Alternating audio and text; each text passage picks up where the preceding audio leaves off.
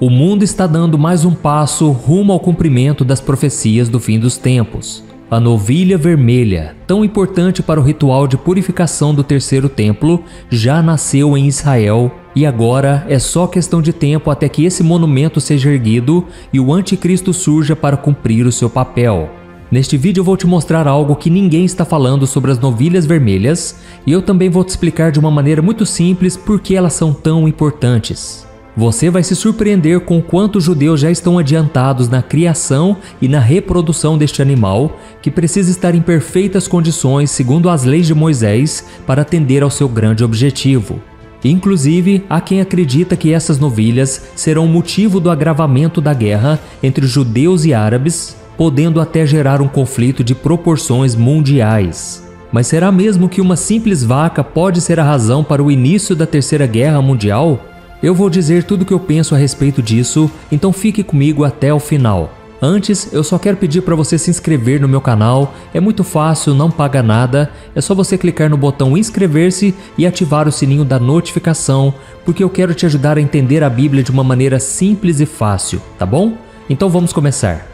No capítulo 19 do livro de Números, no Antigo Testamento, Deus orientou Moisés sobre um ritual de purificação para pessoas consideradas impuras para que elas pudessem se reintegrar na comunidade. O procedimento incluía o uso de uma novilha com pelo totalmente vermelho, e essa vaca não podia ter dado à luz a nenhum bezerro e nem ter feito algum tipo de trabalho, como puxar arado, por exemplo.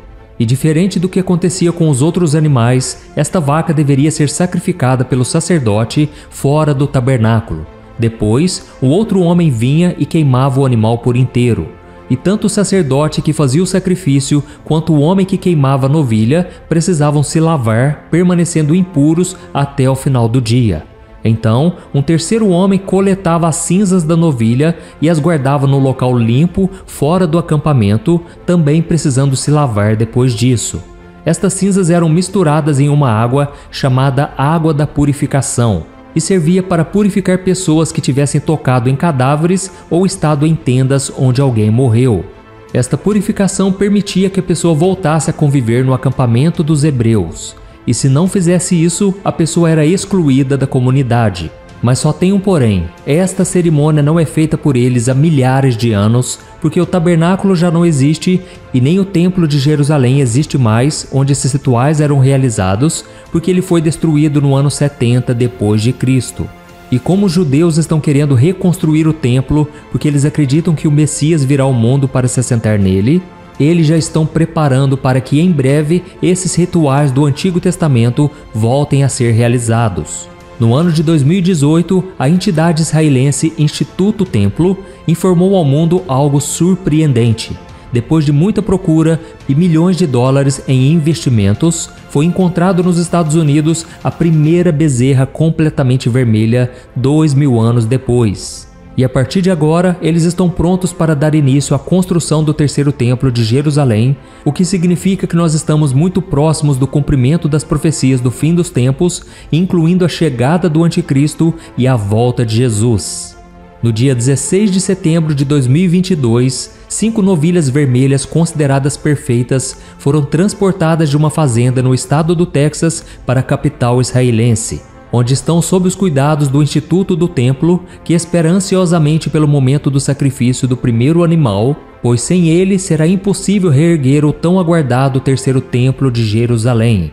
O mundo conheceu apenas dois templos judeus. O primeiro foi construído no Monte do Templo pelo rei Salomão e durou 390 anos, até que os babilônios o destruíssem no ano 586 a.C. E já o segundo, construído depois do cativeiro do povo judeu na Babilônia, no mesmo local, permaneceu de pé durante 585 anos, antes de ser destruído pelos romanos no ano 70 depois de Cristo. E já o terceiro templo está relacionado a uma profecia que vai se cumprir no final dos tempos. A Bíblia deixa claro que é neste lugar que o anticristo irá se assentar para governar o mundo, enganando os judeus e perseguindo-os. Mas antes de falar sobre o início do governo do Anticristo na Terra, nós precisamos entender por que os judeus estão tão empolgados com a chegada das novilhas vermelhas em Israel. Desde os tempos de Moisés, os judeus sempre acreditaram que a presença de Deus estava ligada ao fato deles estarem próximos ao tabernáculo e mais tarde ao templo. E com a destruição desses dois lugares físicos por povos inimigos, os judeus acreditam que Deus deixou de estar completamente ao lado deles e por isso ainda não enviou para eles o Messias prometido nas Escrituras. Lembrando que eles não acreditam que Jesus é o Messias. Para os judeus, Deus só irá enviar o Messias aos filhos de Abraão quando o templo for reconstruído e, consequentemente, a aliança entre eles for restabelecida. E aqui eu quero só abrir um parêntese bem rápido para você entender o quanto esse fato é importante para eles. Teólogos judeus acreditam que durante todo o período do Antigo Testamento, apenas nove novilhas vermelhas perfeitas foram encontradas e sacrificadas para esse ritual de purificação. E agora, voltando ao nosso assunto, o Instituto do Templo aguarda apenas um sinal verde para dar início aos trabalhos de construção do prédio, que será idêntico ao Templo de Salomão e será erguido exatamente no mesmo lugar. Os arquitetos responsáveis já entregaram as plantas prontas, os móveis e os utensílios que serão usados no templo já estão todos prontos. E um outro fato importante já anunciado é que as pessoas que vão servir no terceiro templo já foram selecionadas. O que se sabe é que todas elas são da linhagem de Arão, irmão de Moisés e primeiro sumo sacerdote do templo que os hebreus levantaram durante a peregrinação no deserto rumo à terra prometida. E tem mais: essas pessoas já estão participando dos ensaios para a cerimônia de inauguração do templo, onde farão o primeiro sacrifício de purificação do lugar com as cinzas da primeira novilha vermelha. Mas algumas coisas ainda precisam ser resolvidas. O terceiro templo será construído em um lugar que é sagrado para judeus, cristãos e muçulmanos, sendo também um dos locais mais disputados do mundo. Lá se encontram a Mesquita de Al-Aqsa e o Domo da Rocha, construídos no século VII e que estão entre as mais antigas estruturas do mundo muçulmano.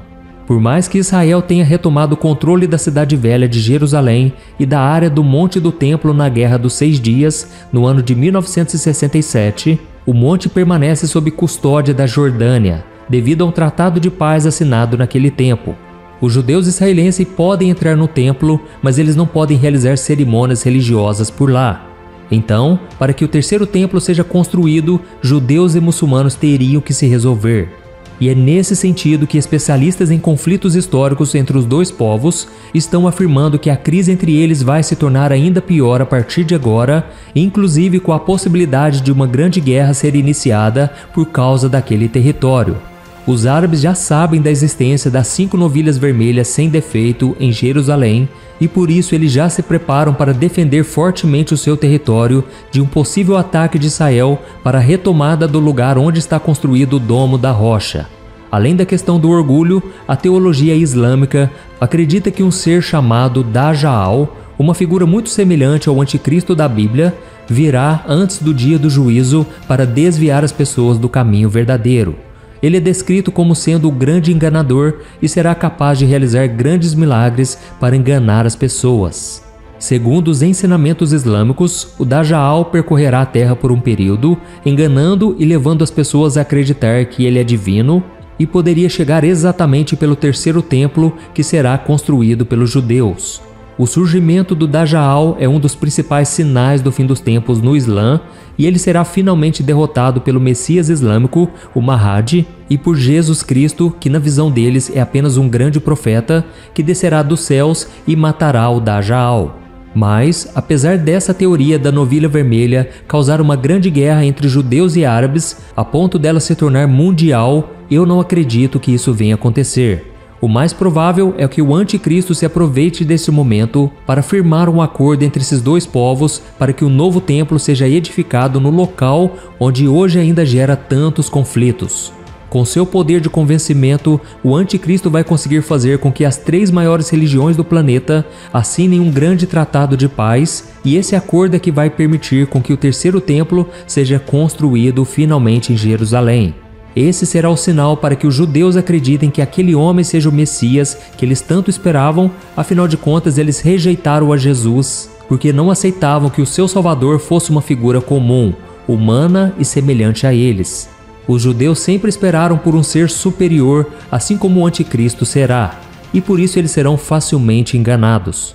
E voltando à questão do terceiro templo, há informações de que após a permissão para sua construção, o templo deve ficar completamente pronto dentro de apenas um ano. E será de dentro desse local sagrado que o anticristo vai governar o mundo. A Bíblia mostra que durante os três primeiros anos e meio, o acordo de paz firmado entre as nações será mantido e a terra viverá em harmonia. A grande maioria das pessoas amará e se curvará diante do grande líder mundial. Mas, no final desse período, ele vai quebrar o acordo, fazendo no templo o que a Bíblia chama de sacrilégio terrível, dando início ao pior período da grande tribulação. Será neste momento que a ira de Deus vai começar a ser derramada sobre a terra e o povo judeu passará a enxergar que o Messias que eles tanto aguardavam já havia vindo ao mundo dois mil anos atrás, mas foi rejeitado por eles. E o profeta Zacarias profetizou sobre este momento. Veja só o que Jesus falou através do seu servo. Derramarei sobre a família de Davi e sobre os habitantes de Jerusalém um espírito de ação de graças e de súplicas Olharão para mim aquele a quem traspassaram e chorarão por ele, como quem chora a perda de um filho único, e lamentarão amargamente por ele, como quem lamenta a perda do filho mais velho. Naquele dia, muitos chorarão em Jerusalém, como os que choraram em Haddad Rimon, no vale de Megido. Olha isso, irmãos. Então, no final dos sete anos da grande tribulação, Jesus voltará, derrotará o anticristo, o falso profeta e, por último, Satanás. Depois, reunirá sua noiva, que somos nós, os cristãos, com o povo da nação eleita, os judeus convertidos, e todos nós viveremos em paz na Nova Jerusalém, um lugar eterno onde não haverá dor, mentiras, maldades, nem choro e nem tristeza.